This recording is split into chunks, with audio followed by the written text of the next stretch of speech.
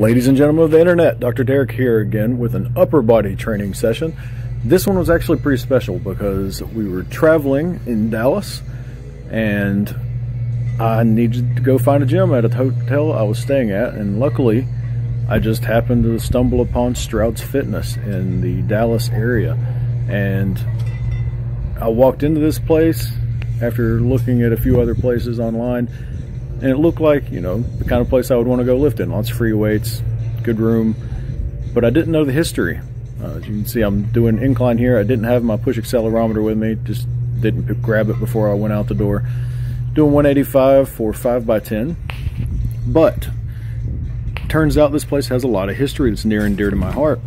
I walk in and I see so many of the powerlifters like Steve Goggins and Mike Miller and bodybuilders, Branch Warren, Ronnie Coleman, all those guys that trained there over the years.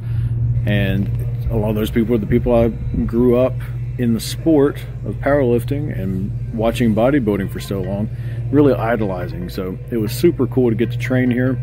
And how actually, after the inclines, I was wondering, how the hell am I going to get my shrugs in here and I was literally standing beside that little shrug apparatus trying to figure out where I was going to do it looked down and was like oh I've never seen anything like this before.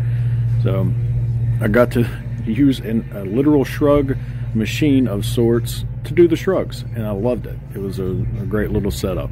And these dip bars you can't see it but they actually extend about 10 feet behind me and they taper outward so you can get exactly the width on the grip that you want but as a taste of the history of this place, I found this super old school monolift. I have no idea how old it is. I'd never seen one like it, but I'd seen some of these type things rigged up back in the 90s. I'm assuming it's at least 25 years old, if not older. So, and there was another one behind this one that you can see it in the mirror a little bit that probably wasn't much newer and it looked like a homemade deal.